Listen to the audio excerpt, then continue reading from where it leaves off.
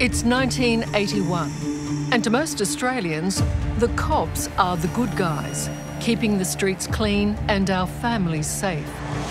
But in the nation's biggest police force, truth was stranger than fiction. It was like the plot of a bad Hollywood movie. Police so corrupt that they become leading drug suppliers. Officers in the hold-up squad who organised armed robberies and even murders. And behind it all, one of the nation's most celebrated officers, proven to be a terrorising criminal.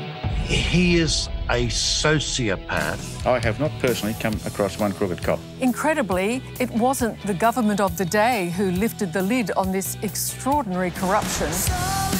It would be a single mother, a heroin addict and King's Cross prostitute named Sallie-Anne Huckstepp. I know it sounds unbelievable, but it's real and it's happening. In 1981, Sallie-Anne would give an exclusive television interview that would eventually trigger the biggest clean-out of crooked cops in Australian police history. But large parts of her tell-all story have never been seen, kept in a vault until now. When the police become judge, jury, and executioner, then somebody has to speak. It was an explosive interview and one that Sallie-Anne knew could prove fatal. And indeed, five years later, she was murdered. A crime that has never been solved. By nature, she was a fighter. By nature, she was going to get revenge. Tonight, for the first time, we reveal the full and extraordinary story of how the bravery of one young woman turned the tide on dirty cops. Beginning of the end of that sort of police corruption. And the officer she exposed and disgraced, Roger Rogerson. Good evening, I'm Liz Hayes, and this is Under Investigation.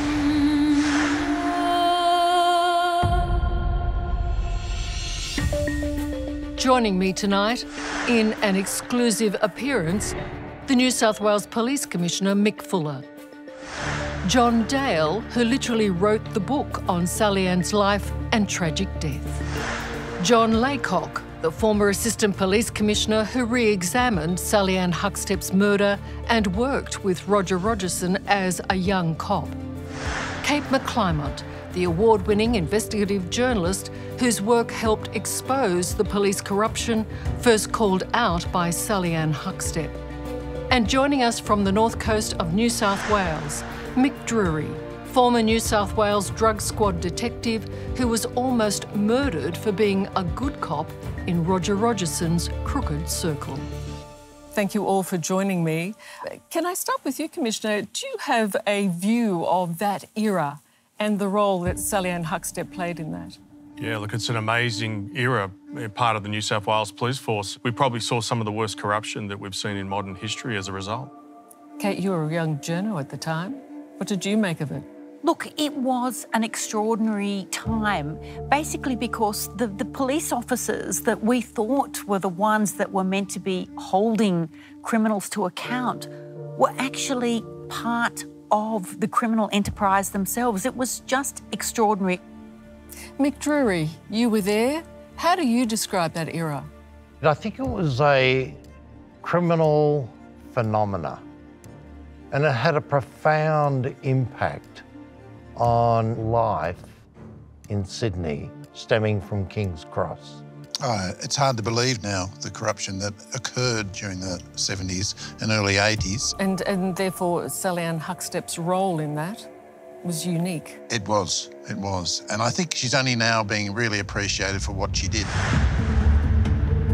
It's June 27th, 1981. A small-time heroin dealer and street thug is shot dead by a New South Wales police officer in an inner Sydney laneway. The criminal was 22-year-old Warren Lanfranchi and the officer, New South Wales Super Cop, Detective Sergeant Roger Rogerson. It is reported as the dramatic killing of a Sydney crim, And the story might have ended there, except that the Crim's girlfriend happens to be a young King's Cross prostitute named Sallie-Anne Huckstepp. Risking her life and just days after the shooting, Sallie-Anne goes public with all that she knows in a 60 Minutes interview with journalist Ray Martin. Sally, we hear so often of corruption in the police force, corruption at King's Cross. How much corruption is there? It's total. Total. The claims Sallie-Anne makes about the New South Wales police are almost beyond belief for a 1980s public. I've been paying the police for 10 years. Um, What, as a prostitute? as a prostitute, my ex-husband was a criminal. I paid the police many times for him. I would have been quite happy to go on paying the police because it's a way of life and it's the way you survive. But when the police become judge, jury, and executioner, then somebody has to speak. Somebody has to come forward. Somebody has to start somewhere and stop it. Everybody, no matter who they are. Heroin dealers, murderers, thieves. Everybody is entitled to justice. For Sallie-Anne to actually be brave enough to go on 60 Minutes, you know, the preeminent show of the day, and to make these claims is like a really, really brave act because she knew exactly what she was dealing with. John Dale, you describe her as the, the real first whistleblower. I think she's the most important whistleblower in New South Wales police history, by, by far. For legal reasons, only a fraction of Sallie-Anne's interview was aired. The full 16mm film would be locked away and forgotten for four decades. But her first hand account of a police force gone rogue and the doubt she cast on a hero police officer who was, in truth, a drug lord and brutal murderer was electrifying. I remember going up there uh, to the 22nd floor or so of the Hilton Hotel, and uh, she was quite emotional that night. She was uh, uh, crying beforehand about uh, what had happened to Lanfranchi, not about talking to us, but what had happened. She was chain smoking beforehand, and yet she was clearly tough. My memory was how articulate and how together she was uh, for a 25 or 26 year old woman who'd been to hell and back. And she wanted to tell the story, and she also wanted to to get um, Roger Rogerson. And so I sat there as a, as, as a journalist, almost with my mouth open. John Laycock, did you see the interview? I did see the interview. Was it was your instinct though that she was telling tr- the truth, or did you just dismiss her? I didn't dismiss her. Um, from a personal view, um, it was quite shocking, actually. Admitting on camera that you are a, you know, had been a heroin user and a prostitute and that you had been paying police, it definitely had the ring of credibility. And I remember thinking, wow, I don't know how much you've bitten off here, but good luck to you. watching it. And, and I have had dealings with, with prostitutes in operational and, and heroin addicts, and I worked across in the late 90s. Um, she, she was so articulate and, believable, and, and I think that was her personality. Well, you watch it now, she's a heroin addict prostitute, but she was believable. And uh, John Dale, I did see it. And my feeling at the time when I saw it, I thought, she's not going to live very long. I think the police thought that uh, I'd shut my mouth, as I've kept quiet all these years. prostitute and heroin addict Sallie-Anne Huckstepp appears on 60 Minutes to blow the whistle on the king of New South Wales crooked cops, Roger Rogerson. Oh, we feared for our lives. Five years after that interview, Sallie-Anne was found dead, strangled, face down in a pond in Sydney's Centennial Park. But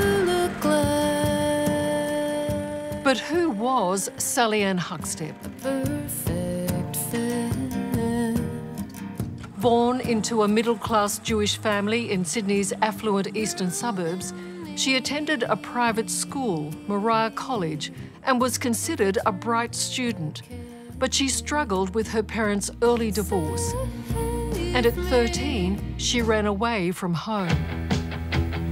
At just 14, she was working as a waitress at Sydney's notorious King's Cross club Whiskey A Go Go.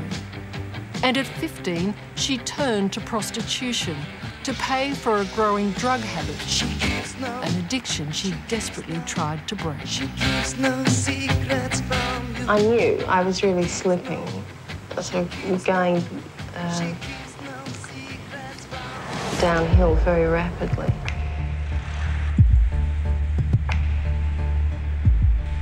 By the time Sallie-Anne turned 20, she'd amassed dozens of convictions for prostitution and paid out thousands of dollars in bribes to corrupt cops.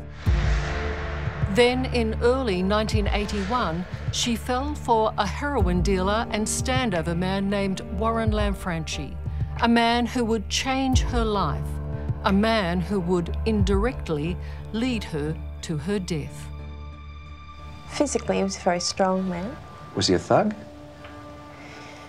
Well, I was a criminal. I don't know whether I'd call him a thug. But, you know, you've got to face facts. Warren was a criminal. He certainly wasn't the clean cut boy next door.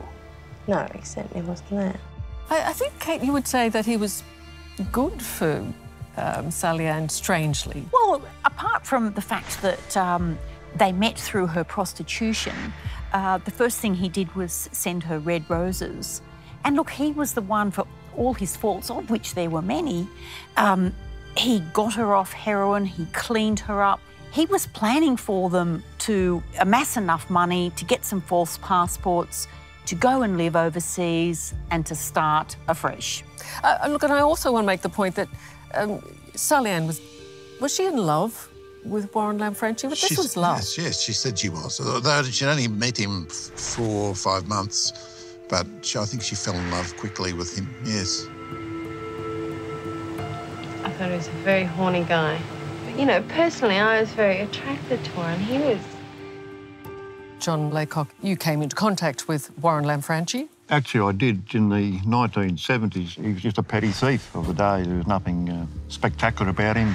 The name was unusual. And um, he went in the dock and got charged and went to court and went to jail. In the day, when you went to jail, you came out a better criminal than what you went in.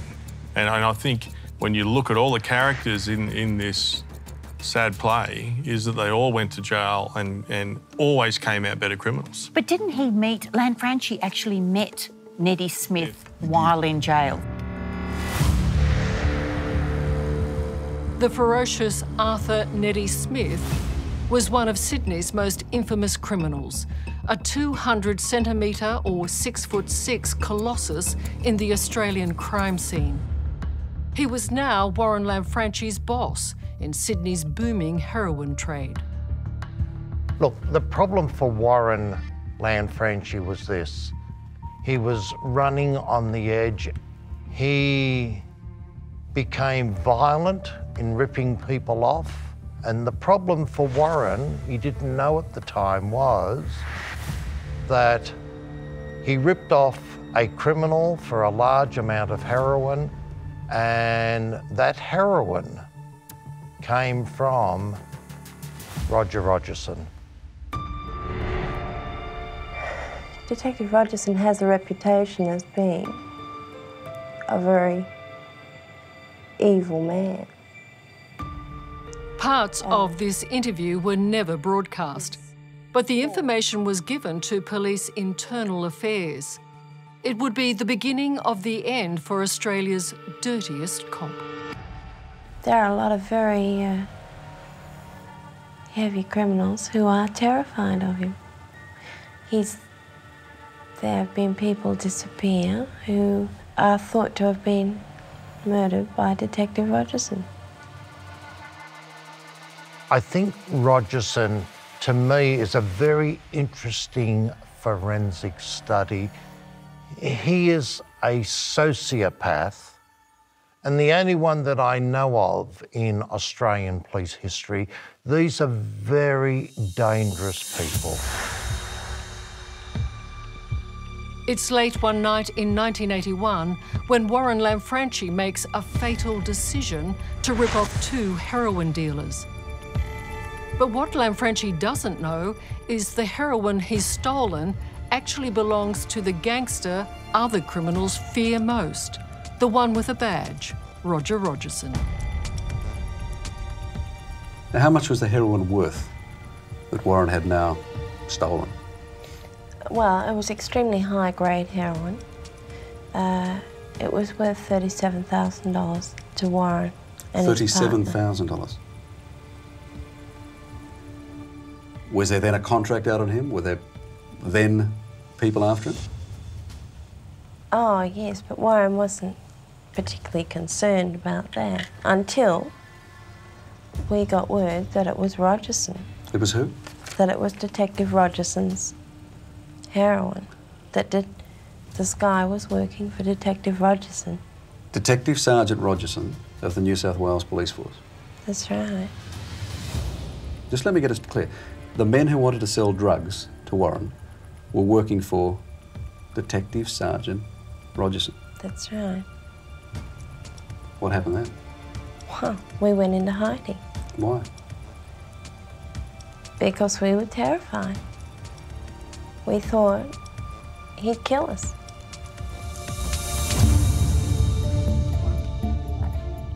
Detective Sergeant Roger Caleb Rogerson, honoured with 13 police awards, once even touted as a future police commissioner, was a cop with a secret and a deadly double life. And he was now hunting down Sallie-Anne and her lover, Warren Lanfranchi, who knew better than most criminals the danger he was in. Had Warren had dealings with Detective Rogerson before?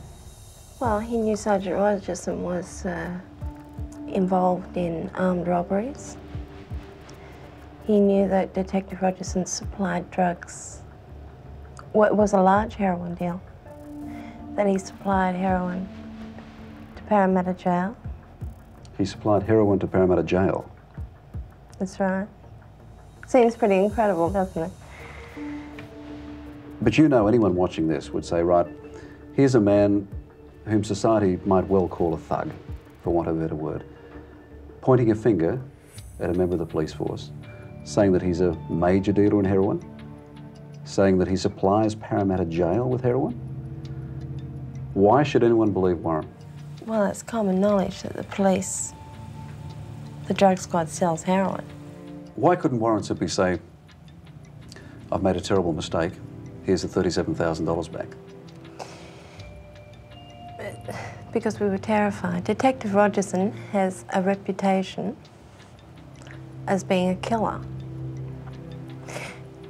In fact, Warren was so terrified, he went and bought himself a gun and used to sleep with it next to the bed because we were terrified that Rogerson was going to find out where we were and come in and kill us both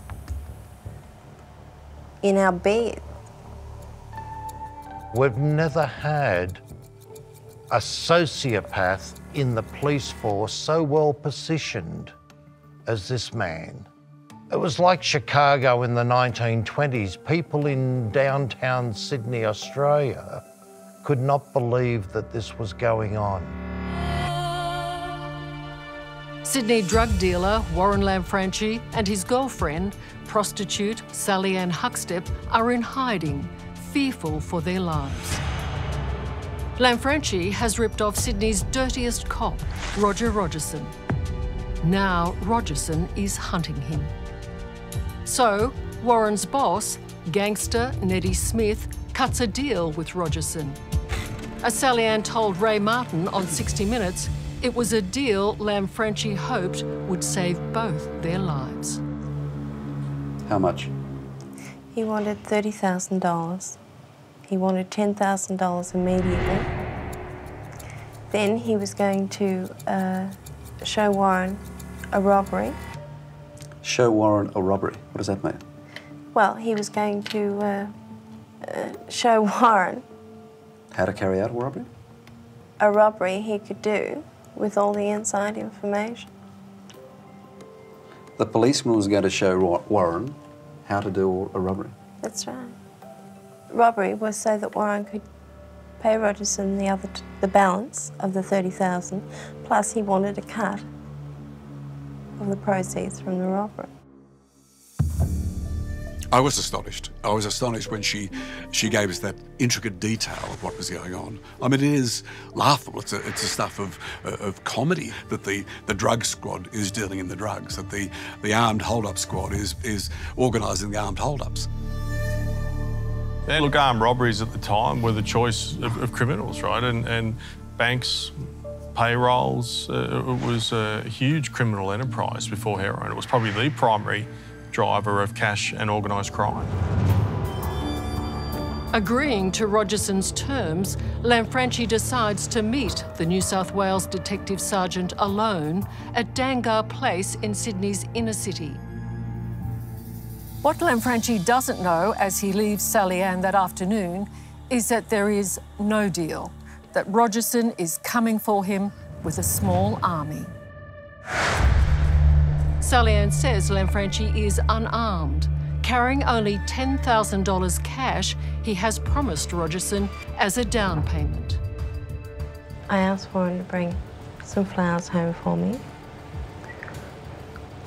And he turned around and said, well, darling, you never know. You could be sending me flowers. We had $10,000, which we'd wrapped up into bundles with elastic bands right round it. He put the money down the front of his pants and pulled his jumper down over the top of it.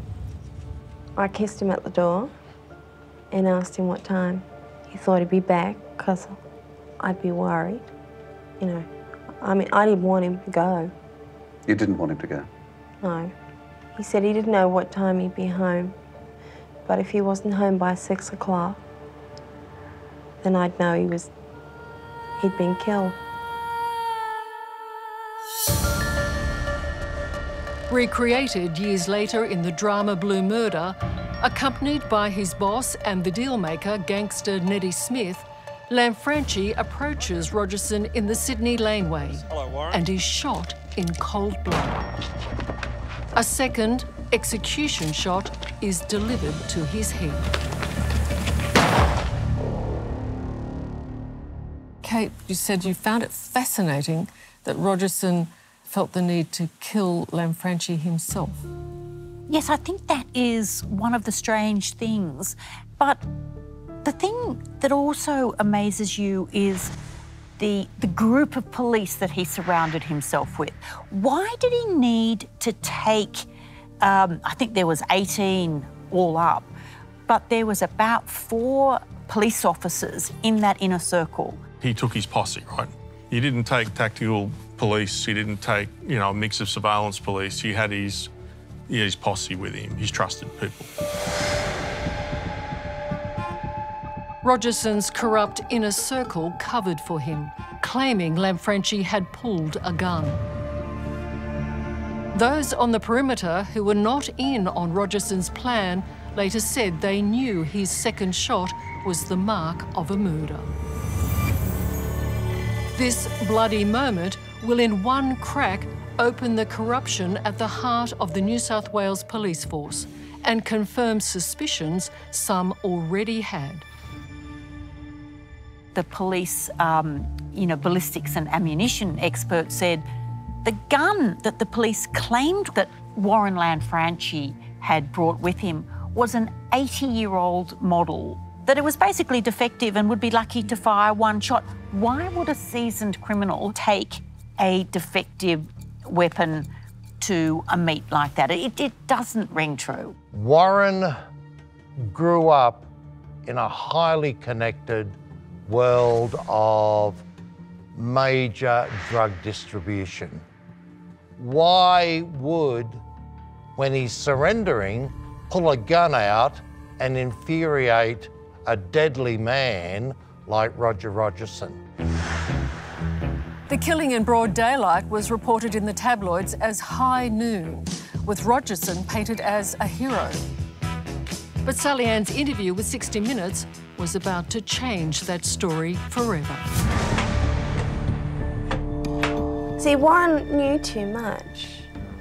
Warren knew too much about Detective Rogerson and his involvement in organised crime. We couldn't get to talk to Roger Rogerson. The critical factor in this story, the critical person was Sallie-Anne Huckett. But how do you get her on camera at that stage? Sally, as we discovered, was uh, was keen to talk, keen to blow the whistle on Roger Rogerson. But it was a matter how she did it and how she did it uh, and, and kept alive. I mean, she really feared for life. They're extraordinary charges. I mean, for most Australians, this is the stuff of fiction. It's something that happens in Hollywood or with the mafia. When Sallie-Anne's interview broadcast on Sunday, the 5th of July 1981, much of it was considered too defamatory to air. But shortly afterwards, she repeated her claims to police internal affairs. A detective squad in Sydney arranges holdups. That's right. And the drug squad sells, Sells- heroin. I know there are people watching this who are just not going to believe this. And in broad daylight, on a Saturday afternoon, a detective sergeant executes a man. That's what you're saying. That's right. He'd murdered him in broad daylight and thought that he could get away with it.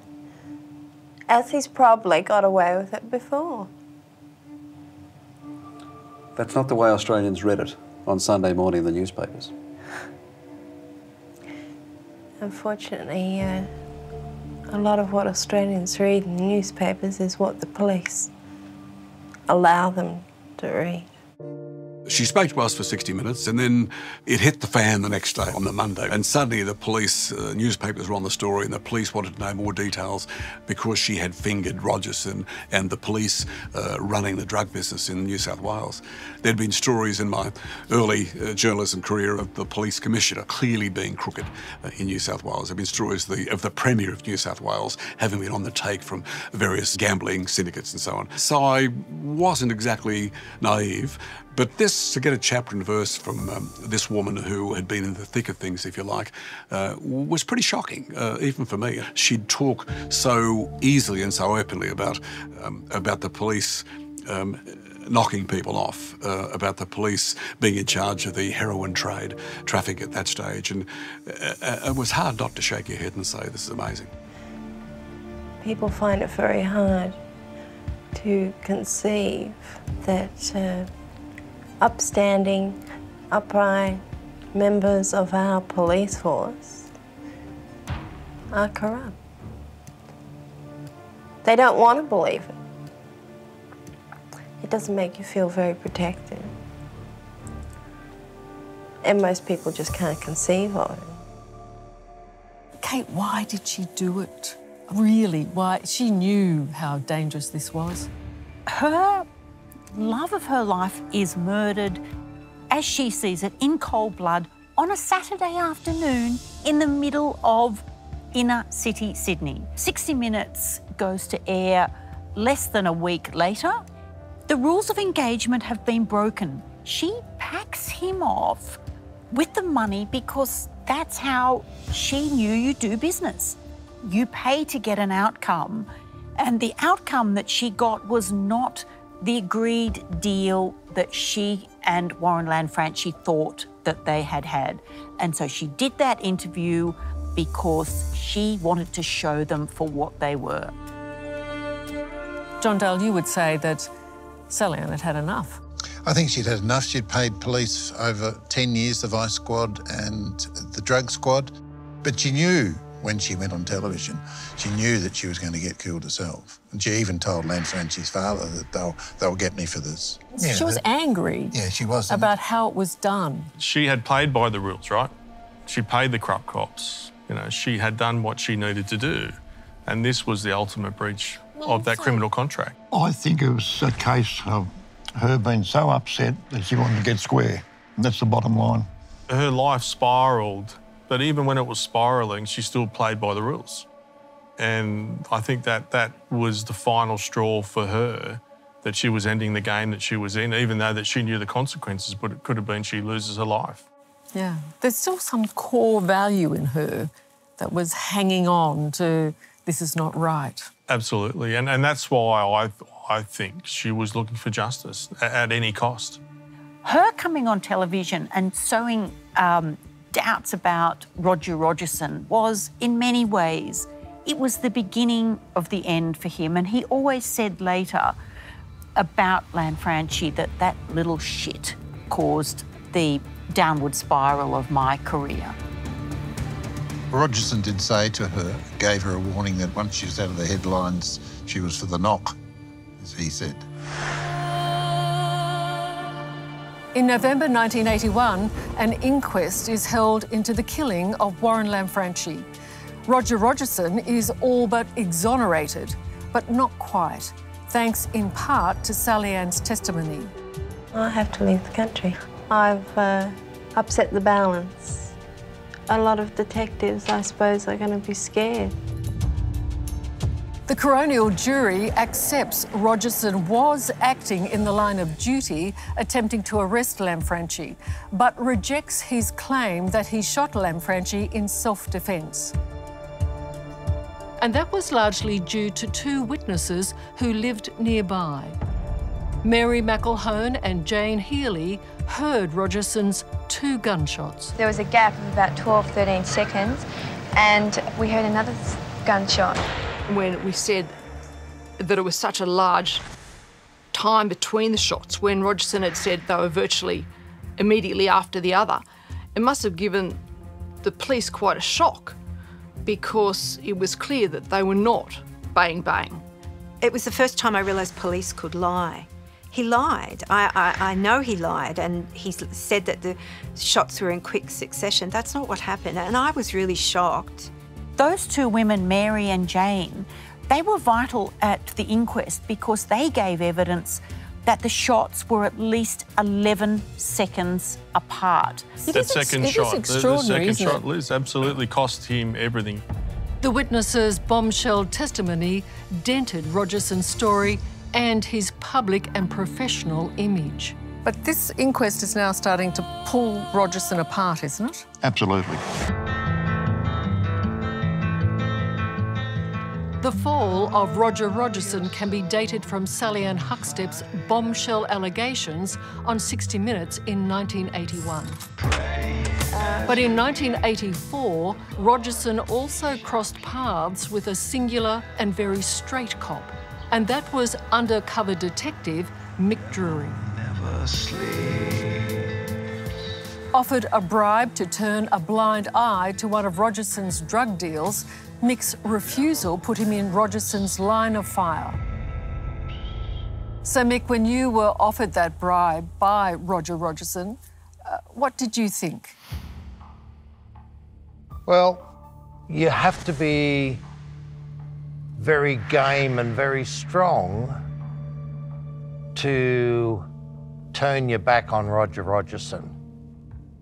Roger Rogerson was powerfully connected not only in the underworld, but also by a very small number of extremely senior, well connected police. On the evening of June 6, 1984, Mick Drury almost died when he was shot through the window of his Sydney home. Chief suspect was Roger Rogerson and a contract assassin, Christopher Dale Flannery, nicknamed Mr. Rentokil. Mick Fuller, when you read about a police officer being shot through the window of his own home, what are you thinking? Look, it, uh, that was a game changer for, for many people because for, you know, a, a respected undercover police officer to be shot doing the washing up essentially by another police officer. Like, it, it is almost hard to believe. So, Mick, you must look at Sally Ann Huckstepp and know how lucky you are. Correct. Roger Rogerson had crossed one line too many and was now becoming a pariah within the police force. And now Sallie-Anne was the hero. In the wake of the 60 Minutes interview, her life took a new direction working as a journalist and even commissioned to write a book. But as the years passed and Sallie drifted out of the public eye and the protection that comes with publicity, she was a marked woman. Her revelations about Rogerson and his criminal web carried an almost certain death sentence. She'd always known it and even foreshadowed it. It was clear that in speaking out, she had made herself a target. But she probably was anyway. I think by nature she was a fighter. But I was conscious that night. Um, I was thinking, do you realise what you're doing? Now, she did. She realised more than I did. She realised um, how murderous, how dangerous uh, that uh, element was that she was talking about.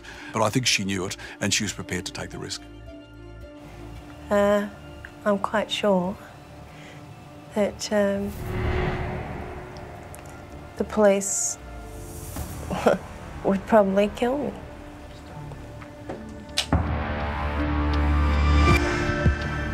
On the night of February the 6th, 1986, five years after the fatal shooting of her lover, Warren Lanfranchi, and her tell-all interview, Sallie-Anne receives a late-night phone call and races out the door. A few hours later, her body is found lying face down in Busby Pond within Sydney's Centennial Park. She'd been strangled and drowned, silenced forever. I was in Centennial Park walking the dog on the morning that the police were there retrieving her body from the pond. I didn't witness anything, but knowing what she had said before and being there when they were taking her body out was just something absolutely extraordinary. Did we all reflect upon the interview that she did at that moment and go, okay, there's the connection? Well, you couldn't help it. I mean, she had very publicly taken a stance on 60 Minutes, and I think that her days were numbered.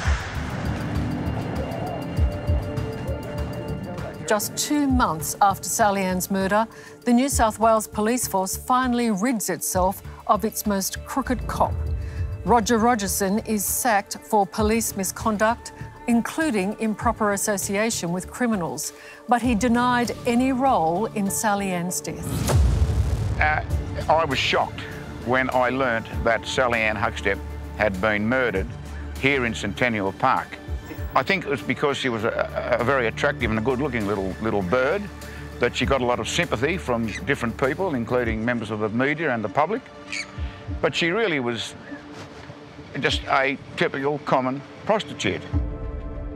86 was the year that Rogerson was finally pushed out of the organisation. So he had never forgiven her uh, for what he would have thought as ruining his life and his criminal enterprise and, and, and his standing in the community. And maybe there was some sense of finally cleaning up loose ends. It's what Mick was saying about him being a sociopath. And the way he described Sallie-Anne, I just think it goes to show that in his mind, he was always better, more courageous. And the fact that he held a badge and a gun put him above what he considered a human being with no values, nothing worthwhile. As he said, she was just a common prostitute. And I think that's completely abhorrent. Sallie-Anne's murder was never solved. The inquest into her death lasted from 1987 to 1991, but only sat for 19 days. The chief suspect emerged as Neddy Smith, who was secretly recorded confessing to the murder and that he'd done it on Rogerson's orders. Neddy Smith was charged in 1996 but acquitted due to lack of evidence. John Laycock headed the New South Wales Police Task Force Snowy, investigating 14 murders linked to Neddy Smith, including Sallie-Anne's. You interviewed Neddy Smith, didn't you? We did, yes. And did he give you any belief that he might have murdered? No, look, he refused to answer any questions, but we relied on the um, on the tape recordings. Uh, we also relied on some DNA, mainly because on the tape recordings, Neddy Smith indicated that Sallie-Anne, while she's been strangled, scratched his face. Having said that, uh, the technology of the day was not that uh, far advanced, and we had to take those samples over to the United Kingdom. The results came back as a weak match with Neddy Smith. In the secret recordings made of Neddy Smith, he seems to delight in sharing details of Sallie-Anne's terrible death. I just snapped her. I just snapped her jugular. She must have been alive when I put her in. Left her floating there. Was there anything in those recordings that really stayed with you? Look, he was quite calculating in how she died, um, graphic detail. Um, I won't repeat some of the things that are on there, but suffice to say, he was quite a vicious and violent man. I think he said that he found strangling someone very satisfying. I think he said it was the best thing he's ever did. While Neddy Smith was acquitted of Sallie-Anne's murder, he was convicted of two others and is now serving life in prison. The jury came back with a not guilty verdict, but whilst we might have lost one of the little um, um, battles, we certainly won the war. And um, he was convicted and he's put away. He's been in jail now for 32 years and um, he's out of circulation and he'll be coming out horizontal. We have gone back and tried to speak to Neddy Smith, um, and, and he is of ill health, which obviously, you know, from our perspective, uh, there's no sorrow there as John said, that he, he will never leave prison, and if he does, he'll be dead. In terms of the police perspective, we believe we know who killed her. And, and we got our man. We, we just didn't get justice for Sallie-Anne, unfortunately. For his part, John Laycock has no doubt who killed Sallie-Anne. But as far as I'm concerned, I can confidently say that, in my view, Neddy Smith did murder Sally Ann Huckstepp uh, in February of 1986 at Centennial Park. From hero cop in 1981, Roger Rogerson's fall accelerated after the murder of Sally Ann Huckstepp in the wake of her extraordinary 60 Minutes interview. We were terrified that Rogerson was going to find out where we were and come in and kill us both in our bed. In 1989, he was charged with conspiring to murder Mick Drury. In 1995, as a result of Sallie-Anne's revelations, the Wood Royal Commission investigated police corruption in New South Wales and named Roger Rogerson as one of the central gangsters.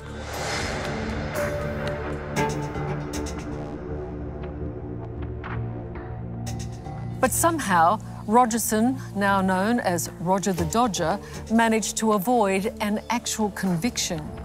That is until 1999. I'm innocent and I've been convicted on the perjured evidence of a criminal and a prostitute. When he was convicted of perverting the course of justice and lying to the Police Integrity Commission. Then, in 2016, Roger Rogerson was sentenced to life imprisonment for the murder of another young drug dealer, Jamie Gao. We're back to the Gestapo days now. Mick Drury, uh, when you saw him go to jail finally, did it feel like vindication for you? There was a sense of relief there because I knew that my life to a certain degree was a lot safer because he was inside. But what damage did he do to the force? Oh, look, I, I, think there was a, a, reasonable group of corrupt police doing damage equally, and I think the Royal Commission played that out. I, I think you know, the Royal Commission was never about shining a light on the heroes like the Mick Drurys and the John Laycocks, obviously. And I guess part of that is, is it's important for me to make sure that you know that every generation has good cops and they've protected the community. And in 2021, none of this could happen. And just as the disgrace of Roger Rogerson is now complete, so is the vindication of Sally Ann Huckstepp. Her claim in 1981 that Roger Rogerson was one of the country's most corrupt cops was proven to be true. This was highly organised criminal activity. Forget about the word corruption for a moment. It was highly organised criminal activity. And, and Rogerson was a terrorising criminal. Absolutely. By the sound of it, at some stage, he was a cop who was getting the job done. Now, was it heroin? Was it the money and the power that changed him? I don't know if we really know the answer to that story. But it's important that we tell these stories so we don't forget the history.